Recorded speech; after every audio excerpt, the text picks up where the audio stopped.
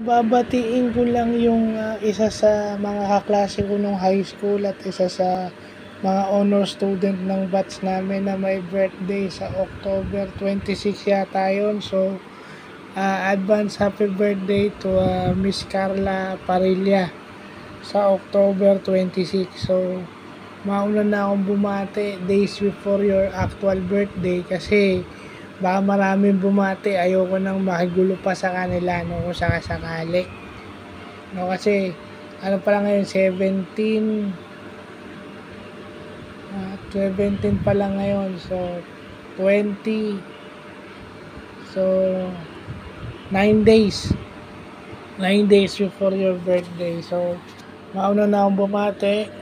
More birthdays to come. At sana kung ano man yung ah, business mo sana eh ah, patuloy pa yung mag-grow at sana yan yung magbigay sa iyo ng ah, ng growth not only as an individual but as a parent to your child or to your kid.